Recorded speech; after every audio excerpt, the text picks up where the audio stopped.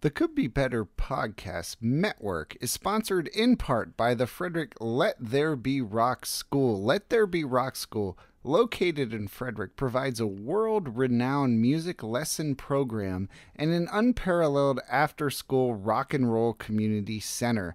Listeners can now get their first lesson free when you tell them Could Be Better sent you. Visit www.frederickrockschool.com and click the contact button in the top right hand corner of the page to get yourself started. Again, listeners of the show get their first lesson free if you tell them Could Be Better sent you. It's not too late or too early to learn your favorite Olivia Rodrigo, Dragon Force, or the Black Key song. So now go now to www.frederickrockschool.com and reach out today for your first free lesson.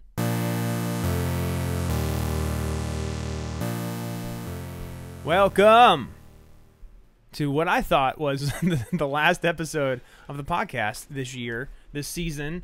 Uh, the Could Be Better podcast. I'm here with Colin McGuire, and this Oh, we just touched toes. well, and uninten- unintentionally, but um, Maybe you. brought to you by our friends at Olde Mother.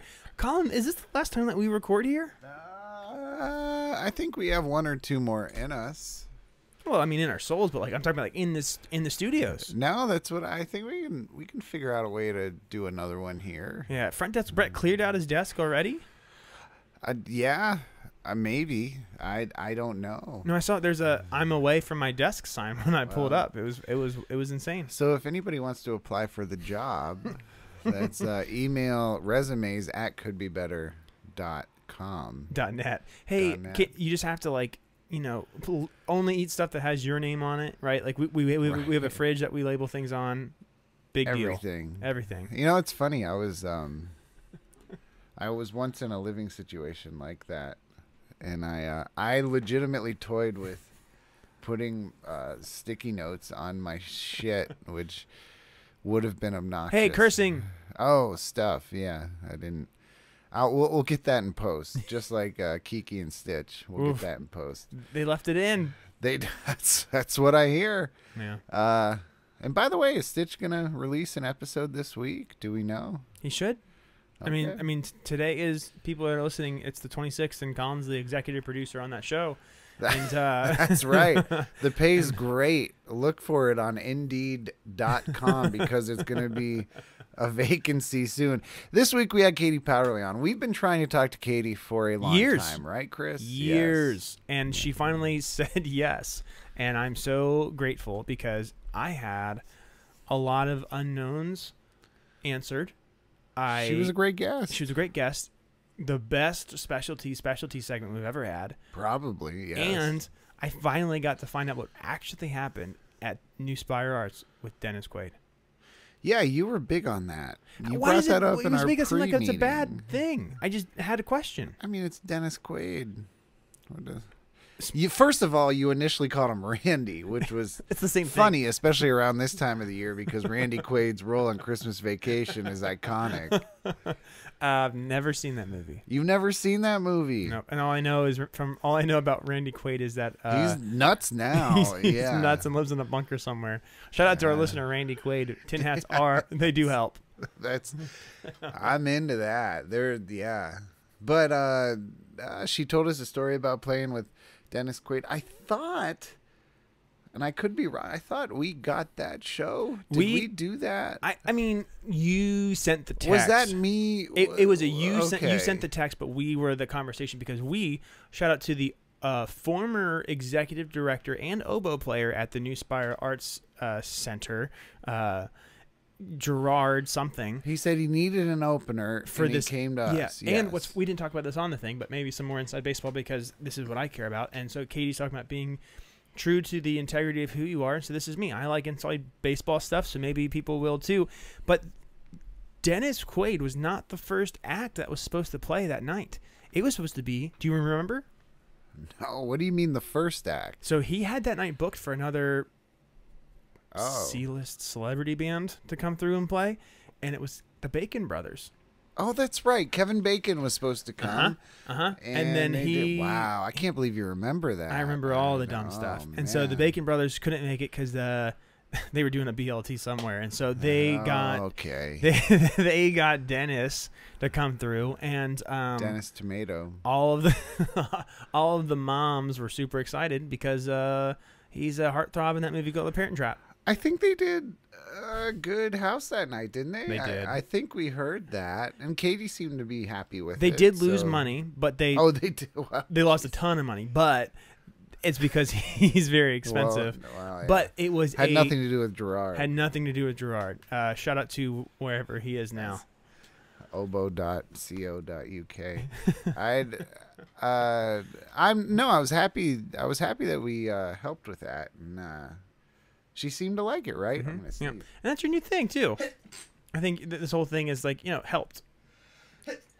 Gesundheit. It's good to help people. I mean, that's the reason why we do this. I would I would hope. think. Definitely not for the money. No. Where is the money? Uh, it's in the bank account Oh, in my name. yeah, underneath my right. Yeah. You It's under Wes Perry. yeah, it's his college fund. So uh, we have uh, we have some shows coming up. Since this is out on Thursday, there's a show coming out this or coming up this weekend.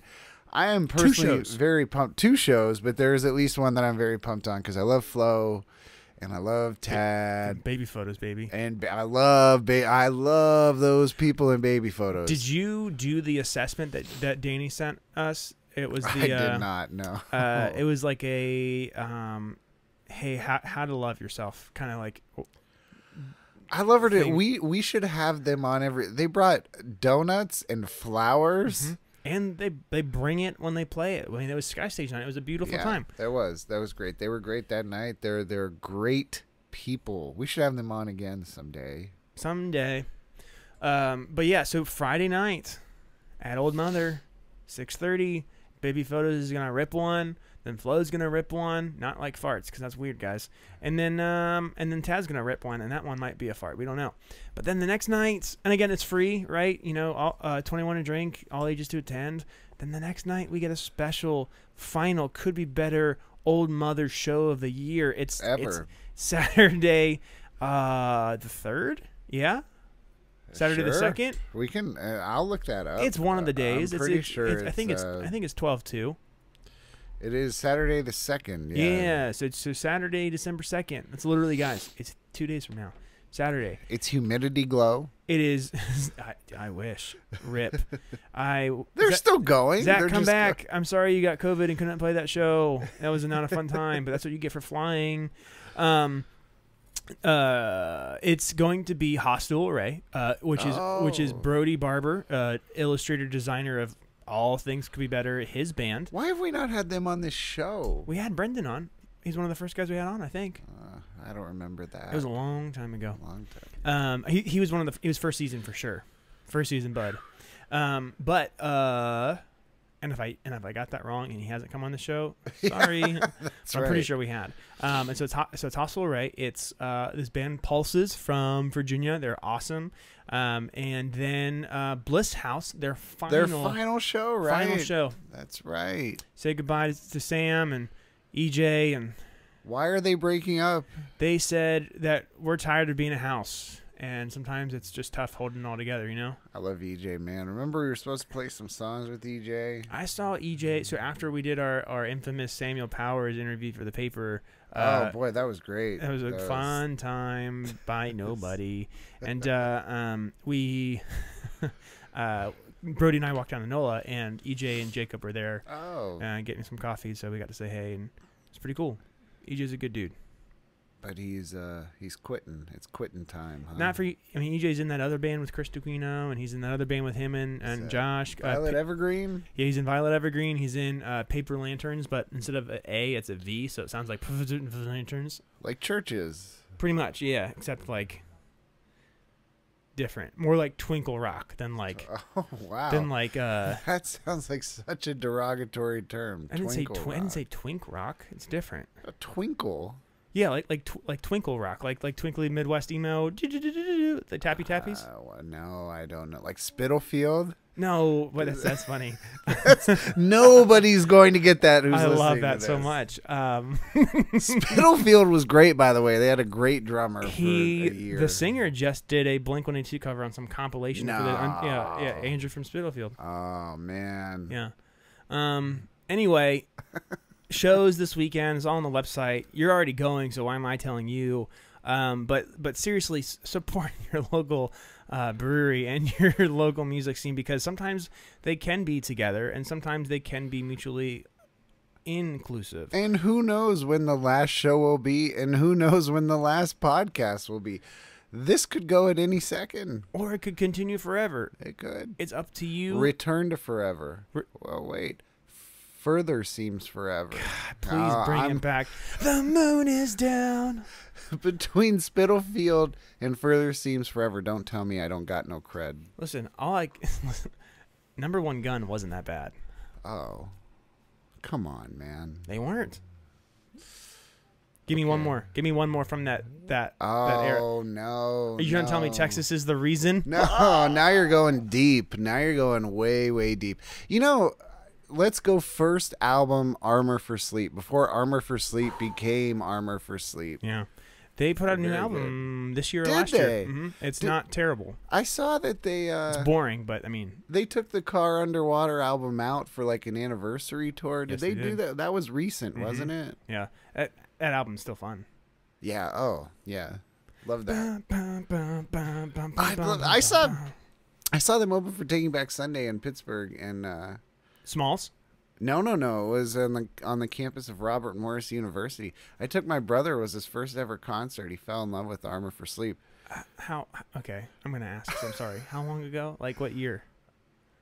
Oh God, I was well, at least twenty years.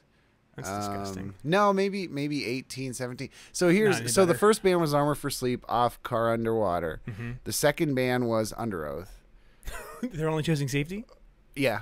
And Wow. then the third band was taking was taking back Sunday, and uh, that was off of the second record. I can't remember. The Oh, name of oh, it. oh. Uh, Listen now. No, no, Louder Now. Louder now. Yeah, louder now. that's So not the was- second one. That was the third one. Because the first one's the Naked Baby. Oh no, no, no. You're right. Yeah, louder now. Louder that had Now. liar, and that had yeah. make damn sure. And and What Corey it feels had, like. Bow, bow, bow, bow, bow. Yeah, what it feels like to be a ghost. That's the name of that song. Man, I love. It. We could do a whole podcast on this. But I, you should have said. My brother was like, I don't know, fifteen, and I, or fourteen, and I was like, we're ten years apart. So either I was twenty four or twenty five, and he was fourteen or fifteen. And he had never been in a pit. Dude, that's and a good I- show. He looked like he was gonna die, man. I had, I literally at one point I had to grab him by the neck. It was, it was tough. True love. Was Underoath bad? They were okay. I've never been a big Underoath person. I think, I mean, all of my friends, especially during that time, just fell in love with that band. Love that band. Did you? Oh, Because yeah. they're I they're real a big- Christian, right? Yeah, oh, they, they were the like they do this. I mean, they were they were the best band to do screamo in like the Christian thing, and like they just blew up. Like I mean, I, I, Yeah. I you know I remember getting that record and just being like, "What is this? This is so awesome." unrelated although this we we clearly have set the groundwork to have a full episode on this. But did you see i'm surprised i'm surprised i didn't send this to you because i did send it to a couple people. Wow. did you see the, the lineup for the 2024 when we were young fest okay so uh, you don't have to look it up because here you here's sent it to me, and I oh did, i i did okay and I don't think I responded to because I was like, "What is this?" no because you never respond to me that's cool No, oh, actually, no, you didn't. It was it was one of my other friends sent it to me. oh you're better friends I don't but know. Someone um, that sends me stuff.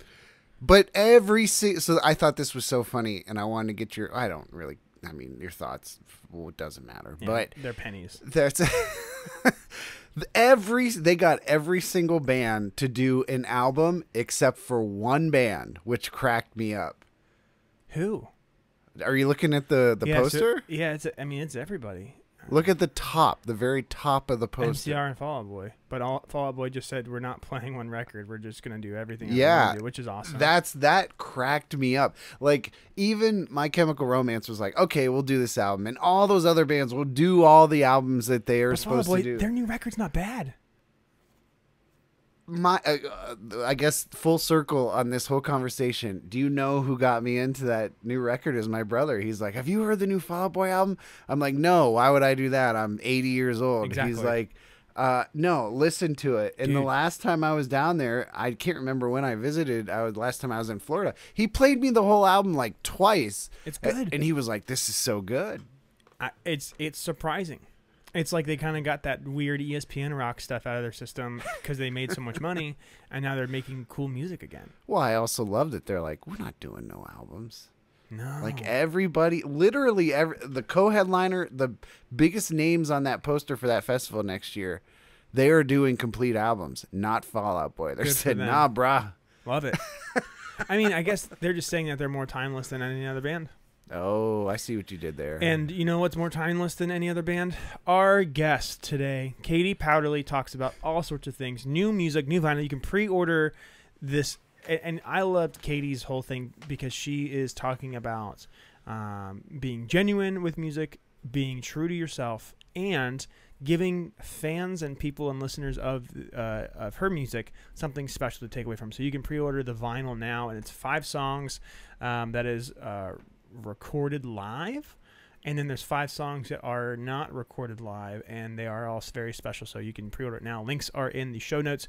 Colin, this was fun. it was, and it was also. We should say this. She mentions this, but uh, shout out to our good friend uh, Kenny Eaton, Mystery Ton studio She recorded all of these there.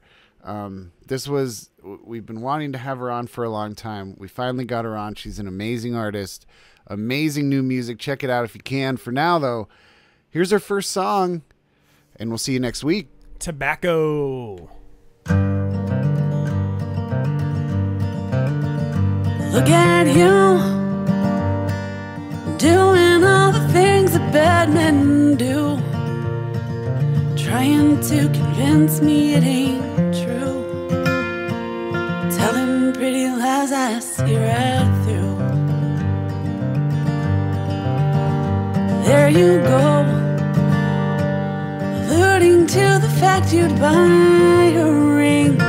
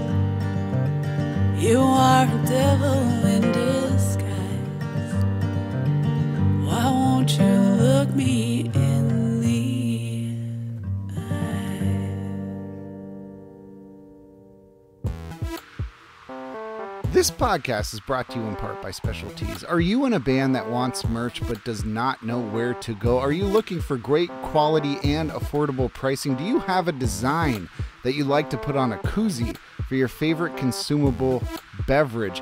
How about office swag for your job or giveaway items for all of your events? Okay, you get the point now, but you have to look no further than Special Tees for all your heart's printing desires.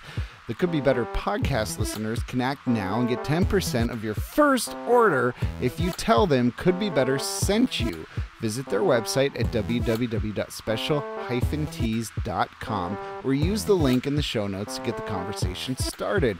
You can even call ahead and visit their showroom to see all types of products, everything that they offer. Again, telling them could be better sent you via email, phone call, or carrier pigeon. It'll get you 10% off your first order. That's www.special-tees.com. Special Tees. If you haven't worked with them, they want to work with you. We are here with Katie Powderly. Hi. Hi. Hi. Um, Katie, we talked a little bit about this in our uh, Could Be Better Studios lobby. I said when we first started this podcast, you were on our list of uh, guests to come on. So it's very feels very full circle that this might be our last time recording in the studio. That you're now finally here. So thank you for coming. We're really excited. Thanks for having me. Where are you guys moving to? We're, we're moving to Romania. Mm-hmm.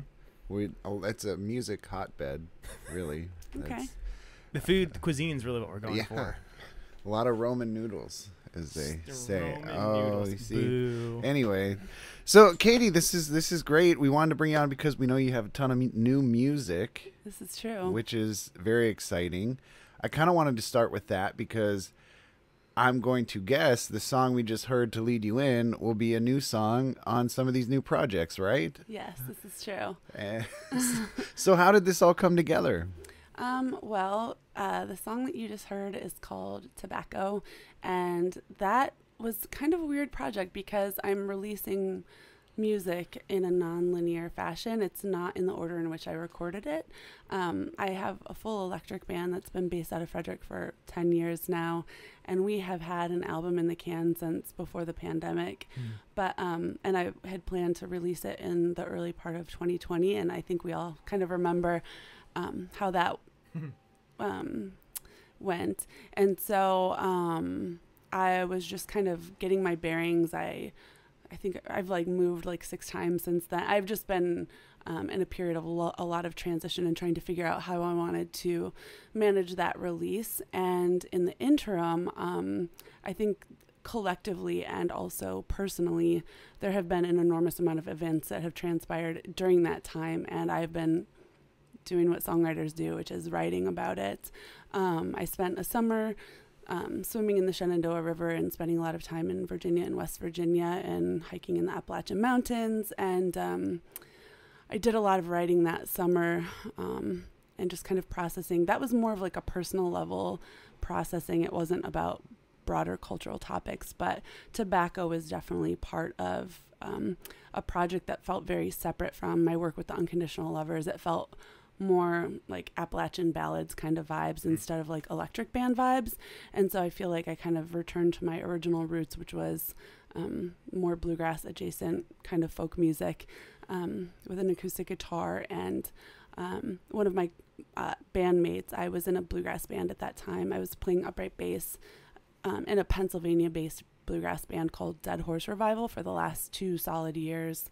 And my bandmate from that band, I would play his songs in his band. I would play bass and sing harmonies in that band. And then um, Chance Hurley, who was like the band leader of that band, um, played guitar and mandolin with me on this project. So we kind of took turns um, supporting each other's creative endeavors. And so this is the the album called Live by the Song, Die by the Song is the byproduct of that summer of writing. And this is the acoustic, stripped down, more organic sounding sounds. It's like what you hear when you're in a room with me, as opposed to like the Unconditional Lovers Electric Sure. album, is more. Um, sounds of like amplification and some effects and pedals and stuff like that and it's very fully produced and very polished and i'm not saying that this isn't polished but there's definitely a juxtaposition there like acoustic versus electric so i thought it would make sense to re- um release this first since it's um, more intimate and then Sure. go big with the unconditional lovers album next year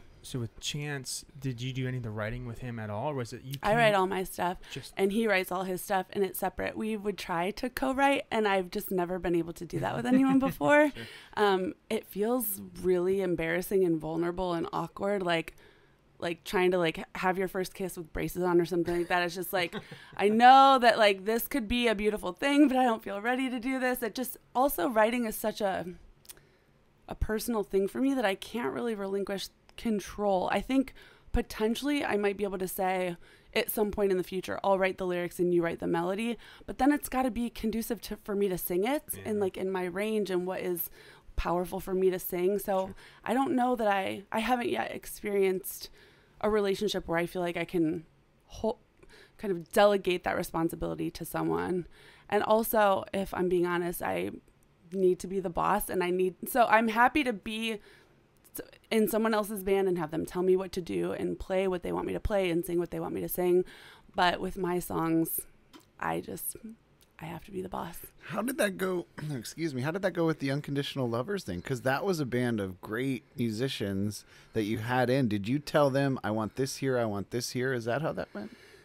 Um, yes. So there were um I it's it's kind of like benevolent dictatorship vibes. um so there's I'm not saying that there's no collaboration. Like I definitely have input eh, but ultimately the vision is mine. So like um, Colin is a great example. Colin Schulzeberger, who plays keys in the Unconditional Lovers, and he played the snare and the Rhodes with me on two songs on this um, "Live by the Song, Die by the Song" um, album I'm releasing right now. But um, he is such a great person to work with and to collaborate with because I can tell that man to do 109 takes and he will do it without a crappy attitude. He'll smile and be like, "Okay, so what do you want more from here?" And I'm like, "More whatever." And we can talk about it. it and it's he never gets like a chip on his shoulder. He's super open and recep- receptive to feedback and is always super willing to do what best serves the song in my eyes and by my eyes I mean my ears. It's like he understands that I and they all do, but it's just um I feel like because we've probably spent the most time together out of all the my other band members, our communication has gotten to a point where he just it, the trust is implicit he just knows. and you don't need to, like the communication becomes nonverbal. And when it is nonverbal we know how to talk to each other so nobody Mm-hmm. gets offended. It's very sibling kind of vibes. And so we just work really well in that sense. Um, and there are times where it can be frustrating. Like i've been in the studio working on other people's stuff before and it's like gotta do it again. I don't want to or i liked how that turned out. And they, it's like ultimately we all want the final say because but when you have to defer to someone else's vision i think it can be frustrating but i think everyone knows um, that that's what this project is about. It's it's it's about my songs my vision. Yes do we collaborate? To some extent yes. Am i open and receptive to ideas? Yes. But ultimately it's like i'm trying to convey a certain thing and my way is the way that it like the final word i guess Yeah, it's your it's your vision, like you said. Mhm. Like I would, it's got to be something you are very. I mean, if I was in your position, I would not want any stone left unturned. You know, like I would say, hey, this is these are the drums. This is how I want this to sound. Same thing with bass. Same things with guitar, piano. Colin seems to be like a great person to collaborate with that, like you said, because I Mhm. feel like he is a professional to the core, right? Oh, for sure. And he's, I mean, when we first met, we were 10 years younger than we are now. And I feel like he has grown professionally so much. And I have, I've always had a lot of respect for him as a musician. But that continues to grow and he continues to impress me.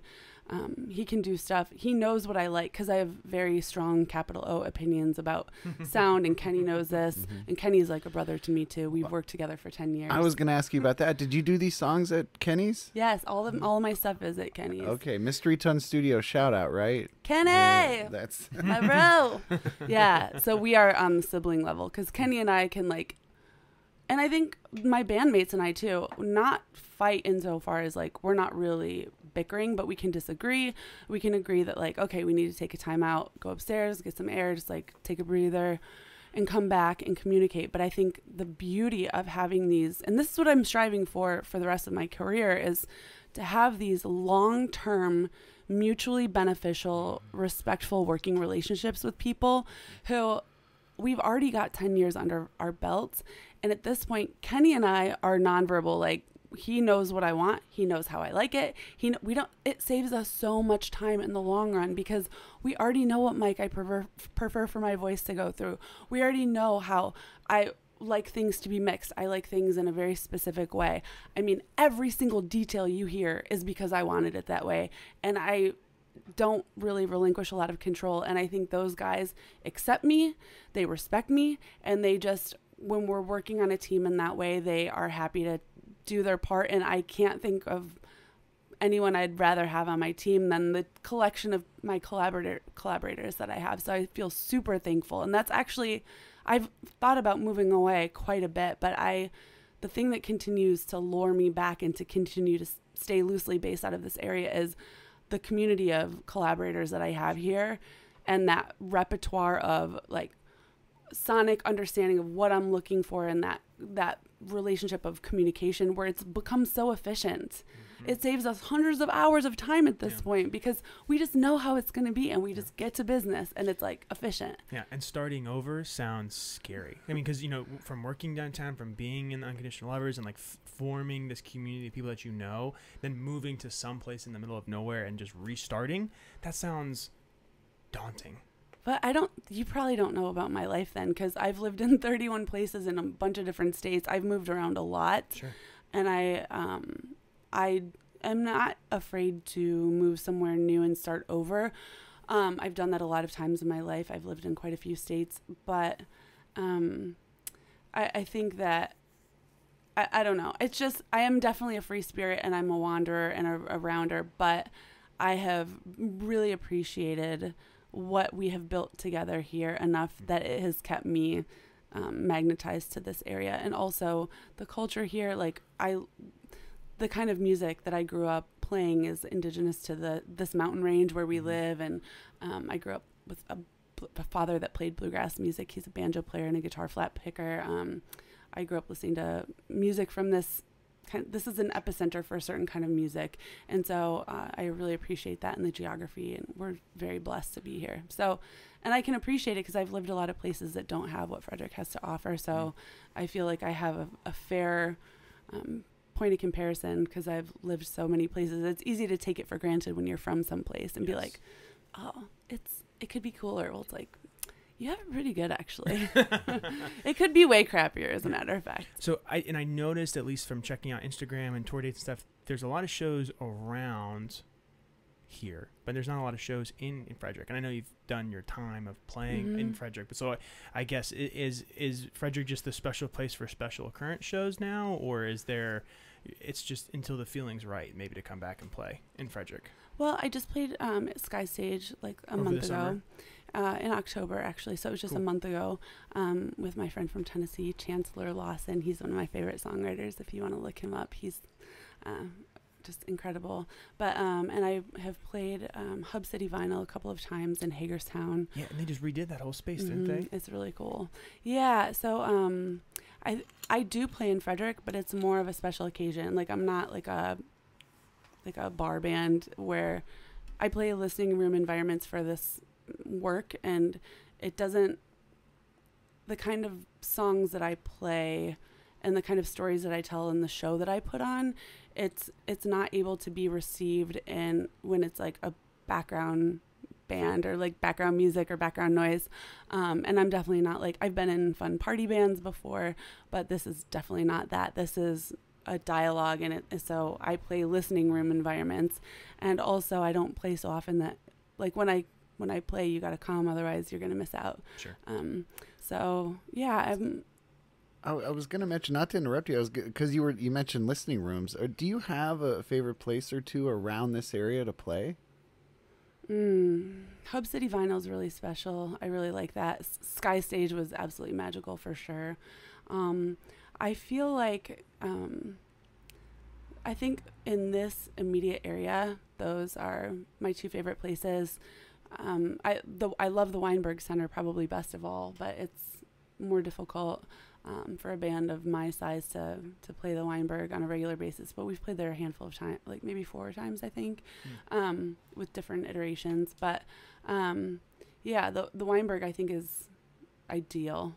Um, but then on a smaller scale, I did enjoy the New Spire Arts as well. That was a nice And we'll, a nice room. We'll, Mhm. we'll get we'll get into that. We do want to talk a little bit about that. But one thing uh, to circle back quickly to the new material, um, you do you think? And I I'm just wondering this. I haven't heard any of it yet. I'm very much looking forward to hearing some of it here. And we've already played a song that we've not listened to here in person, but we will listen to by the time this goes up. yeah. I'm really excited to hear it. Were these songs the way that you described the, sort of songwriting process? Would you categorize these songs as is is happy, is sad, is is anything? do you have? That's hilarious because clearly you haven't heard this. Yes. if you're asking me this question. Um, they're very dark ballads, um, very much reflecting on um, the darker parts of people's behavior, um, kind of seeing through uh, the veneer that people put on when they're trying to port- portray themselves as one way, but you get a sense intuitively that there's something underneath the surface that doesn't align with what the words are saying. Just kind of um, trying to figure out people's motives for deception or. Um, and, and I think there are some hopeful messages in my songs too, but you, it's a little bit you got to dig deeper. Um, the next song that we're about to play later in the show is called "My Morning Dove," and I, I've gotten mixed reactions from people who've listened to this. Um, they didn't get this takeaway from it, but um, it's very much about encouraging someone who um, is a troubled person who's kind of you're afraid that they're too far gone, and you're trying to trying to lure them back um, from the depths of whether that's depression or alcoholism or just dark thoughts or despair. Um, it's about trying to say like, look, you need to make efforts. Like I can try to reach out and save you, but and I will try to save you, but I can't save you if that means I'm also going to drown in your stuff.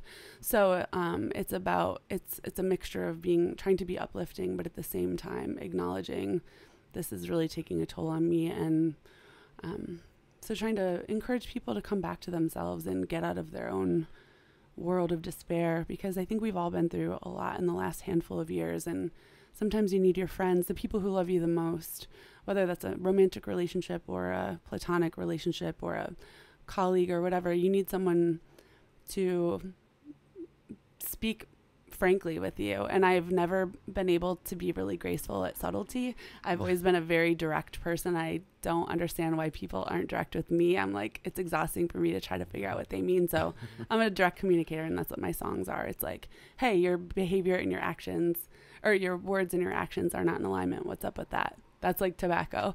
Um, you're telling me you're a good guy, but you're acting like a bad guy. What's up with that?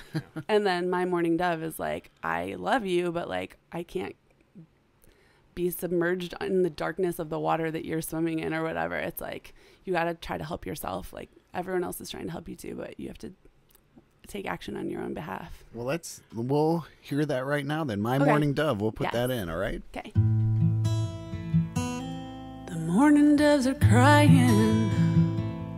They're calling you by name. There ain't no use denying which one of us is to blame. We knew that it was dangerous. Two moths drawn to a fire. I just can't say no to you. You touch me like an electric wire. What have you done? What have you done? What have you done? What have you done?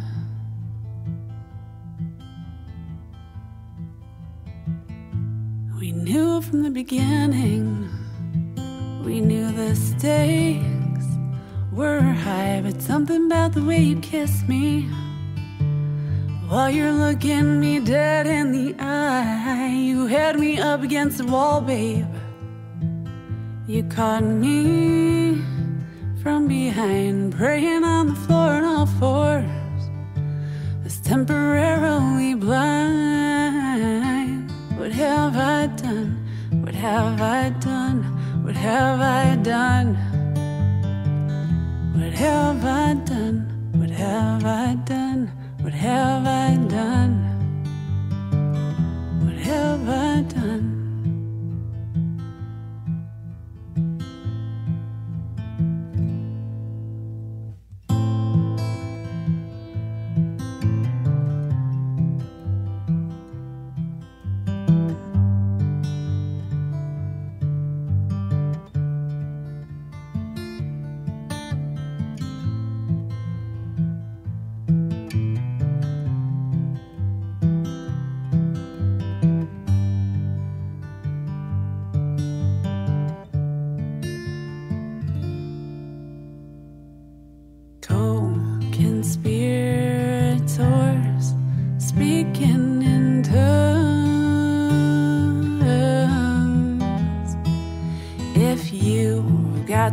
Something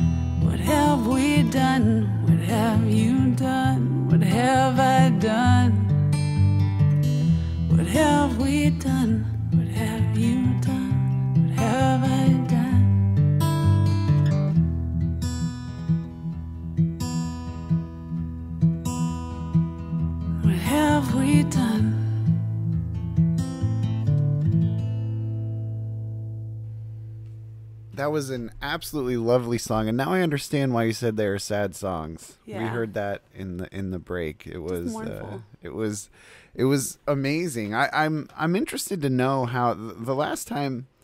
Well, you and I really did something together when uh, you talked about the Weinberg playing the Weinberg. Yes. Um, one of those times that you played the Weinberg was part of the Frederick Music Showcase. True. That was And- my first time. And um, it was a great set. I remember, like, I had so many people come up to me and ask me more about you, and I was like, "Oh, check her out online and do all this stuff." And and John Healy really fell in love with you too that night. I know he really liked um, the music and all that stuff. That feels like now. What was that? Eight years ago? Nine years ago? Yeah. Something like that. Yeah. And you were just talking about the ten-year time frame. Uh, You said that before the break. How have you grown as a songwriter oh in my those gosh. 10 years? I mean, that's a really difficult thing to answer because I, I think songwriting is like a lot of other things. I think in performing and recording, it's it's like any other skill. You have to do it and do it badly for a certain length of time to kind of hone your chops and Like this podcast, we do it badly for a very long time until we hone our chops. But go ahead. But I think um, you just certain lessons are just only learned by doing and failing and reflecting, or in my case, just ruminating for years on what I could have done better or how I could have said something in a more impactful way or um, more graceful way. And I think it's just, um, I think it's, I've grown so much, I feel unrecognizable Um, From where you were 10 years ago? absolutely, and I. I I look back on that version of Katie and I'm and I hear recordings that we made at band practice and stuff and it sounds like a cacophony but I'm so proud that we ended up getting to this point where there's discernment and I think um, I have so many strong opinions about how music how my I want my music to sound and I think we've really uh, throughout the recording process really nailed um, achieving that in a studio environment. And then from a writing perspective, I think I've just gone through more impactful life events that are very poignant. Some are very beautiful, like love. Um, some are devastating, like betrayal or loss. And so I think I've just become more mature and seen things through multiple lenses over the course of many years. And so I have a better perspective. And I've, I also, um, have the benefit of testing out a lot of my material in in front of live audiences. I have secret little um, like songwriter communities where I work on new stuff and bring it out in front of a group of other songwriters. And if I can't get the room to stop talking while I'm playing my new songs, chances are it's just not landing for them. So I see what makes people stop their conversation, turn around and speak. This is not like formal gigs, by the way. This is Sure. like songwriter, like secret hangs, Societies, like yeah, yeah, yeah, yeah. totally. And if if if I close my eyes to start singing and I open my eyes and everyone is silent and looking at me, or if they physically walked closer to me, I know that I'm onto something. But it just takes years of just performing in front of people and getting your confidence and figuring out what kind of vocals are sound best with my range and what words like what resonates with me when I'm listening to a song and I'm a huge nerd and I've been um, criticized for using just I was told in an insulting way that I'm like that I sound overly academic all the time but um How is that insulting? I would be so complimented. he did not mean it as a compliment um Do you want to name names? We could say. no he's a butthead but i love him um and so i but i realized like i've just gotten to this place of total self-acceptance where i'm not trying to in some ways like i'm the things that i write that are the best i write for myself and i'm satisfied with it. And i then i get further confirmation when people respond by listening. But it's not like i'm i'm not writing for for the audience's approval because i feel like I've written songs where I'm like, people will love this, or it, I thinking it'll appeal to people, and it ends up not, and it doesn't mm. appeal to me either. And I think that's probably translates in the way I perform it. It just the things that emotionally impact me that I want to sing seem to be the things that people stop and pay attention to. So it seems like there's like this litmus test of integrity. If I'm in alignment with my integrity and writing the truth as I have experienced it, that impacts people. If I try to dilute it or get out of talking about the hard parts of stuff, people don't really pay attention. So I think as long as I maintain my integrity, but that's such a difficult thing to convey to somebody else because I'm the only one to know whether or not I'm telling the truth in my songs. But when I tell the truth, people care. Sure. So in the last 10 years, just from it, because we're talking broadly about a couple of things, but specifically, I always like the process and how things kind of happen behind the scenes. What has changed in kind of like a writing practice over the last 10 years, where that you did this then, now you don't do it now, or it's kind of been refined to a, s- uh, a place where you, you're just getting more out of it than you were before? Well, I think um, in the last 10 years, I have become a lot more accepting of the seasons of my life. Um, this was something that Joni Mitchell said in a, a documentary that PBS created. It's called A Woman of Heart and Mind. But she was being interviewed for um, some show or something, and she was talking about how things are seasonal. So she'll go through seasons of writing a lot of songs, and then she won't pick up a guitar or. Write for months at a time and then she self-identifies as a painter first and foremost. So then she'll go into a season of um, a lot of painting and then return to the songwriting. And i think when i was a young songwriter i felt this pressure on myself to be prolific or to create um, a lot of songs or a lot of good songs or to just constantly be in a generative phase. But there's no like plant on earth that is bearing fruit all the time. We need seasons of, of rest. So as I've gotten older and kind of understood how I, my the rhythm of how I work, I'll go through a season of a lot of writing where I, I couldn't stop writing if I wanted to. It's like people are trying to talk to me and I'm like, I'm so sorry. I need to step out and I need to sing something into my phone really quick. I'll be back in just a couple of minutes. Or I need to write this down in my notebook. Or I need to go be by myself with my guitar. Um, and then there are seasons where I'll go for years without writing a song. And I've had panic attacks about it. I've talked to other songwriting friends. I've cried on the phone. I've said, Am I even a songwriter? Am I a musician? Am I an artist? But not realizing that during those times of total, what I call dry spells, and what felt like not burnout, but just it felt like nothing. Like mm-hmm. I didn't feel magnetized towards it at all. I'm also a visual artist and I do I'm a graphic designer and I do a lot of visual art. I didn't realize that during those times I would be completely in a huge phase of output of making visual art. And so now I see it in context more because I'm old enough to see with a lo- longer time span and a, like a different lens of, okay, this is just how I work. There are seasons, and I can trust that even if I feel nothing towards songs right now, I know that they will come back when they're good and ready.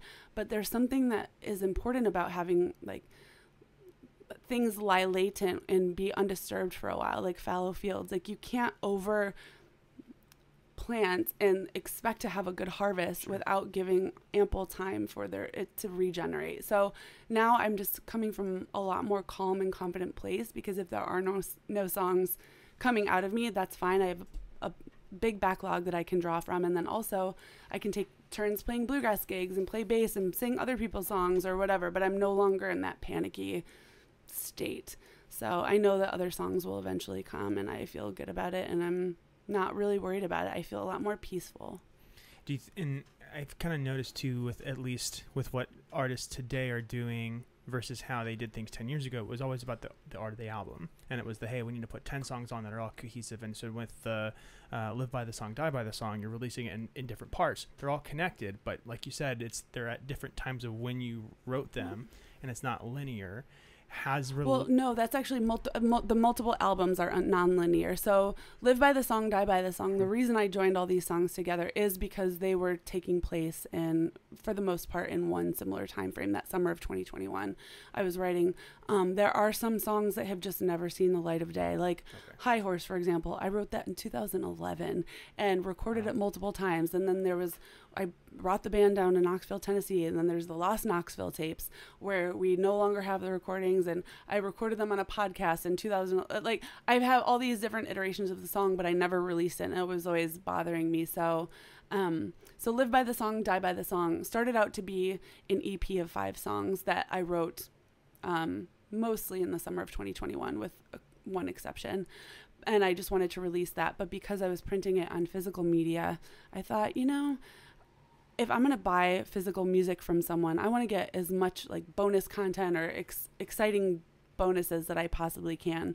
So um, I, when I decided to press it to vinyl, I thought um, Chance Hurley and I recorded a series of videos with uh, in Kenny's studio at, at, Mystery Ton Studios. So we recorded a lot of these songs and acoustic versions of a couple of the Unconditional Lover songs that will be released electrified and like fully produced when that album comes out. Um, so I decided to add those five, the audio of those five videos. Um, so I have a side A and a side B for the vinyl. So the side A of the vinyl is the original EP as it was in, originally intended to be as a collection, and then on the other, on the B side is the five songs that I was playing with Chance Hurley during that whole same time frame that I was writing all this and. Uh, and he was definitely some. I would write something and I would send it to him immediately because he was like my bestie, and so I'd be like, "What do you think about this?" And he's like, "Yeah." He's not a he's not a guy of very many words. He'd be like, "It's good," or "I hate it. I won't play it." like there's certain songs where he's like, "I'm not playing with that with you," and it's like, okay, I respect that, but um, yeah. So it's so I that collection of live by the song, die by the song. It's it's all about my experiences, um, interacting actually with every single song uh, on that album is about some kind of relationship I have with another musician or somebody who's devoted their lives sure. to music in the same way that I have. And it's kind of um, I'm just the type of person that I say things better in retrospect after I've had time to digest and reflect. In the moment, I don't necessarily say what I mean in the most um, impactful way or the way I'd like to say it. I kind of am like, oh, I wish I would have said it like this. So songs, I think a lot of times blurt out to give me that opportunity to say things the way I should have or wish I could have said them in the moment. You mentioned experiences in that, and one of the things I know Chris wanted to talk about, and you kind of alluded to earlier, playing New Spire Arts. Yes, Um, you had the experience of opening for Dennis Quaid. I did. Um, this was how long ago? Two years ago? Three? I think it was ago? like I don't know if it was 2020 or technically if it was 20 I think it was like 2021 when people were just starting to have shows again.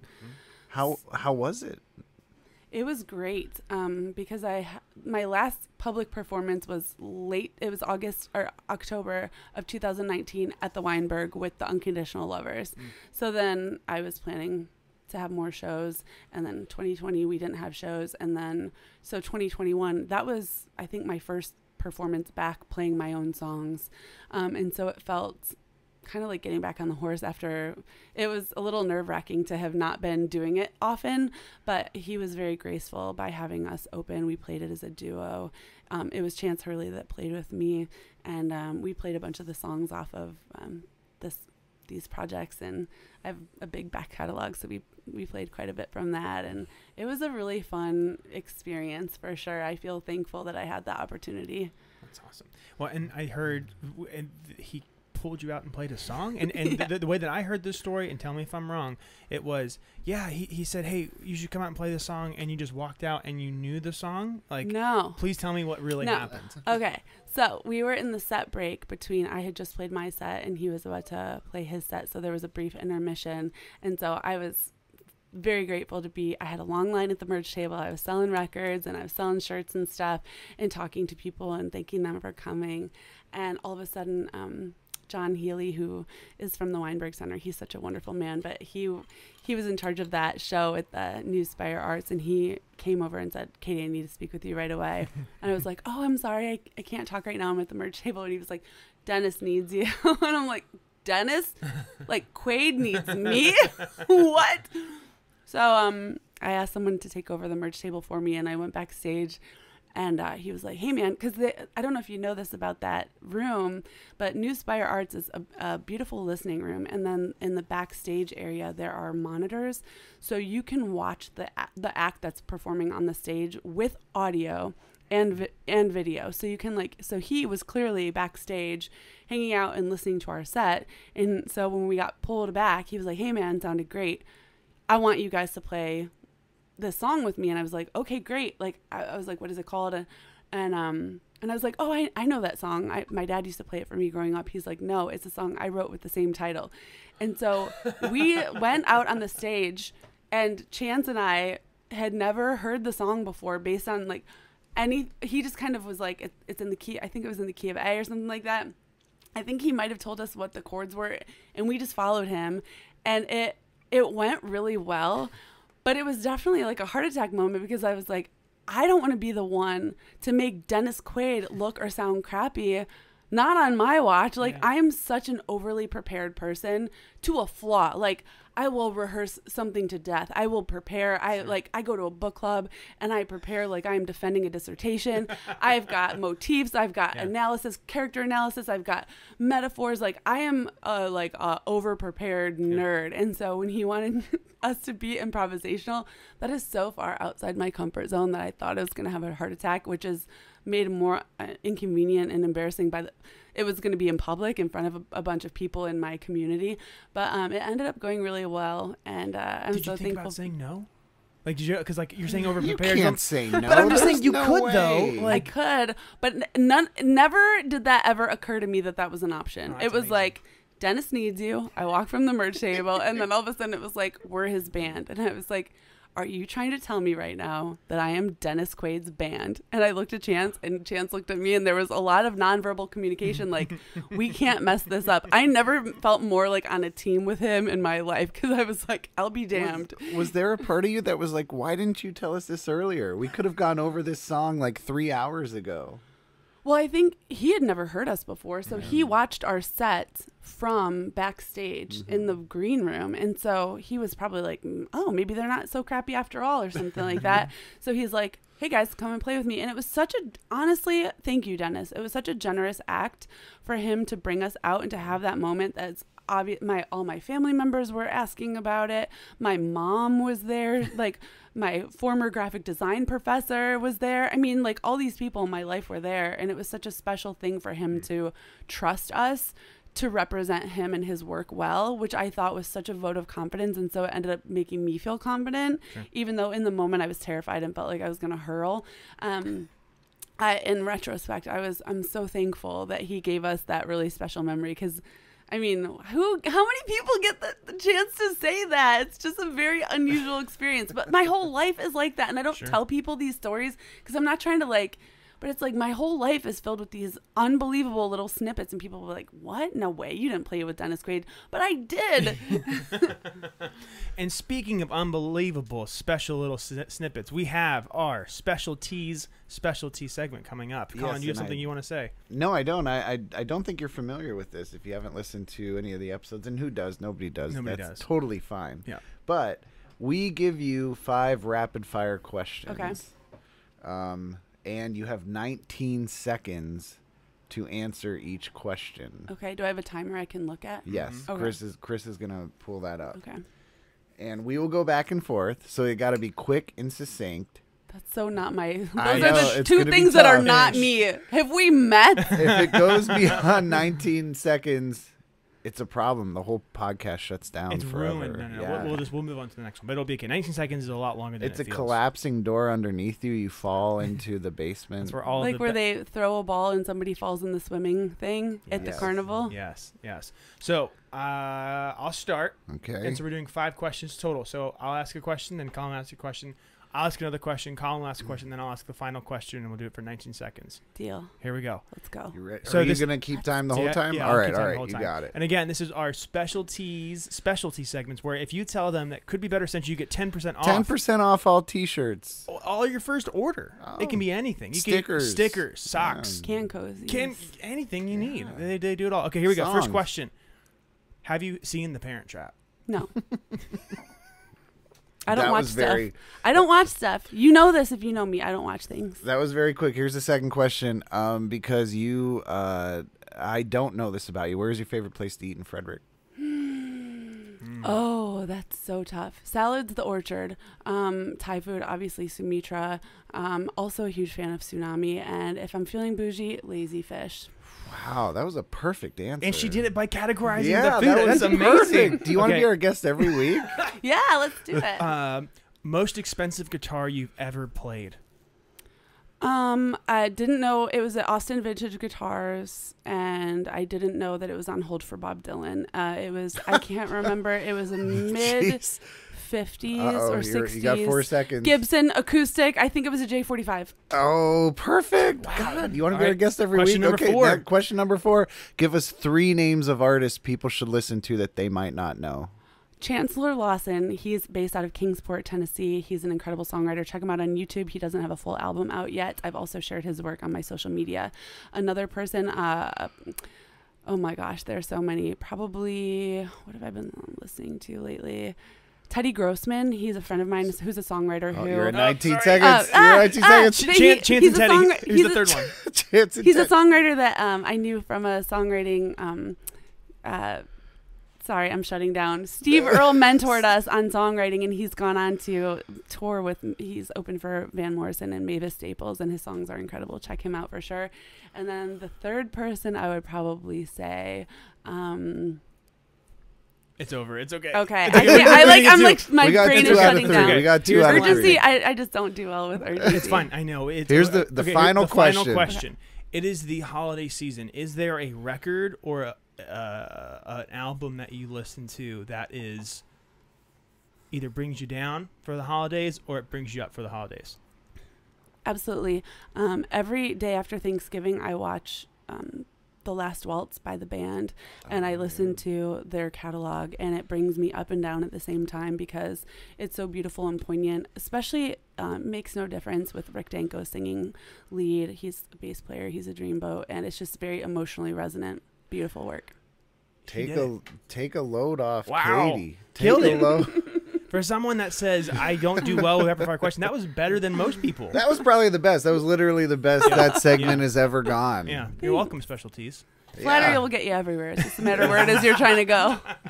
Katie, thank you so much for coming on. So uh, f- we'll have all the links to where everybody can find your stuff coming up Yes. uh, in the link to the show notes. So people that are listening, you don't have to write something down when you're driving because that's not safe. Um, but you have vinyl. Yes. So Live by the Song, Die by the Song is available for pre order right now. Uh, the vinyl's here. It's actually arriving tomorrow to my house. So I'm so excited. I'm Wow. like beside myself. And then um, I have a 10 year anniversary edition of my very first album, which is called Slips of the Tongue with commemorative artwork and a bonus song that was not available on the on the first pressing. I And love that, was- album. Uh, let me say that too. I remember reviewing that for the News Post like 25 years ago at this point you? because Thank I was you. and I One of remember the songs. I loved it. I loved the the record. This is on vinyl. You said there's a bonus song. Hey, what Yeah. did you rate it? Three and a half out of four stars. Out of four stars. And that was recorded at Smart Studios in Madison, Wisconsin, which was owned by Butch Vig. There are so many stories I could tell you about that as well. But so I'm so thankful that both of those are on vinyl on a pallet in Wisconsin. Some of those are coming to me tomorrow so I can fulfill all my holiday pre orders and sign all the copies that were requested. And um, But you can still order your copy at katiepowderly.com. Do you have any shows coming up that people should know about? I do. In, uh, in Madison, Wisconsin, I have a show coming up, um, an album release show, which I don't know that we'll have listeners from Wisconsin, but perhaps. And that's December 30th. And I have a full string band for that. And then um, this hasn't been announced publicly yet, but March 2nd, I will be doing a really rare duo performance with my buddy Corey Chubb and in Hagerstown at this place called District, which is a scratch kitchen and craft cocktail bar that is owned by a couple of my buddies. So we'll be there. Super Very cool. secret. Breaking news. Will you be there? Me and you? We're going. We'll go to District March Do 2nd. we get in? Uh, what? How much are tickets? It's actually uh, Do we get 10% you, get to off? enter. You get to enter for free. So yes, I will give you ten percent off. Yes, Yes, yes. for free. Love it. Katie, thank you for coming on. Thank you for having me. I really appreciate it. Um, and and now we can farewell the Could Be Better Studios. Thank Maybe you for we'll- listening.